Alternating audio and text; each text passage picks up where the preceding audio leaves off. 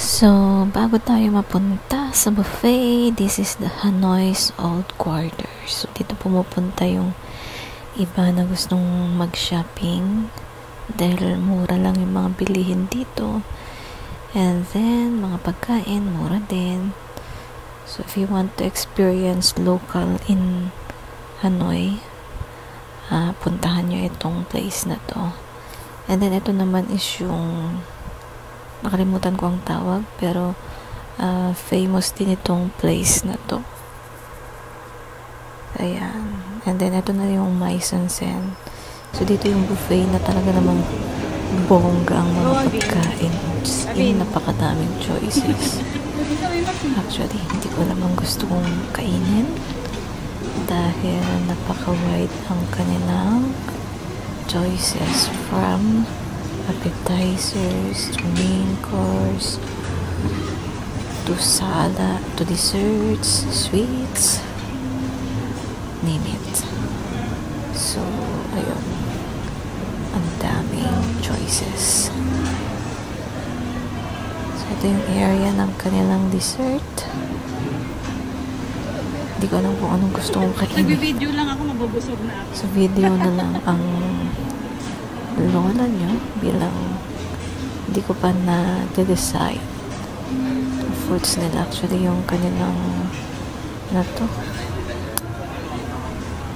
Dragon fruit. Ang sarap.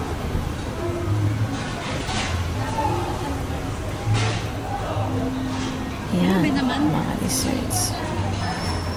And then ito yung mga ito yung area ng mga shells sorry ang daming bake bake seafoods Yan. so hindi, hindi mo talaga alam kung anong kakainin mo dyan ilang limited naman ang space ng dyan so kailangan mag-decide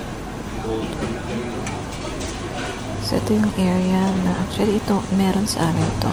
So, Ilocano knows. Yung kuhol. Madami yan sa probinsya namin, pero dito ko lang nakita na in-offer nila sa buffet and ang daming klase ng luto in fairness ng kuhol.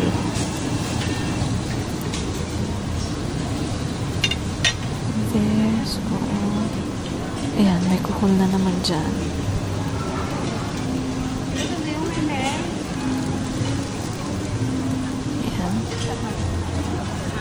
Famous yung pagkain na yan. Yan yung buncha. Famous siya sa Vietnam. Ayan, dyan yung kinainan ni former US President. Nakalimutan ko yung name.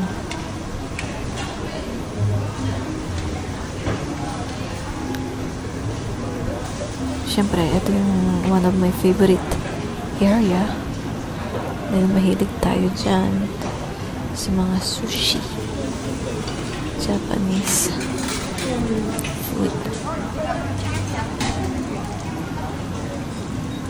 So, puntahan naman natin to. Of course, hindi tayo pwede dyan bilang allergic tayo.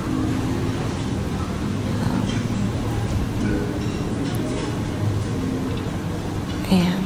So,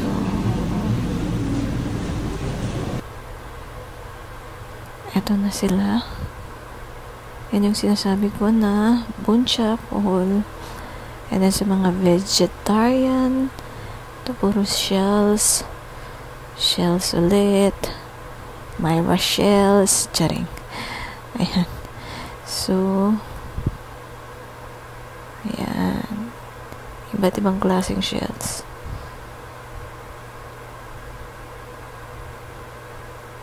So, super bundat ang peg ng lola nyo nung kumain kami dito. As in, eh, ang sarap din ng luto nila talaga. Yung seafoods talaga. The best.